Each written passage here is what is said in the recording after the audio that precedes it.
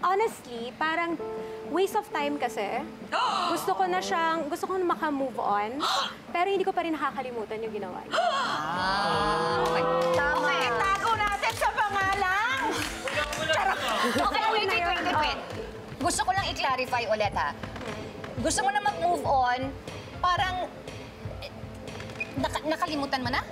Nakalimutan? For Forgive honest- but never honestly, forget. nakakapagod kasi yung pabalik-balik sa sa korte. So, hindi mo pa siya napapatawad? Mabot kayo sa korte? Um, gusto ko lang na ah, gusto ko lang maka-move on. Dahil ang daming ginagawa sa life. Tama Parang naman. waste of time siya. Like, pupunta ka pa doon para lang doon. Tapos, pero hindi ko makalimutan yung ginawa niya. Kasi, Oo, tama. it's Tama. very traumatic. Oo. Yun. Naiiyak. Oo, oo, oo. Yun. Hindi nga totoo. Traumatic siya for me. Kasi bata pa ako noon. Nung nangyari yun.